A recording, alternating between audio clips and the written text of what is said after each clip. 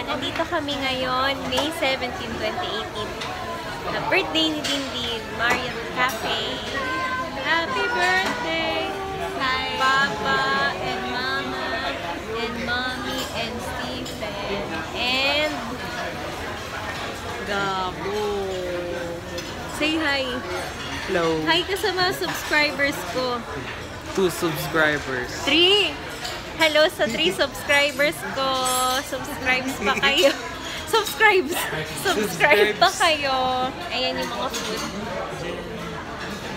Dapat si Sweet tawag ka sa ano. Carbonara. Tawag ka sa mga subscribers mo. Gen subscribers.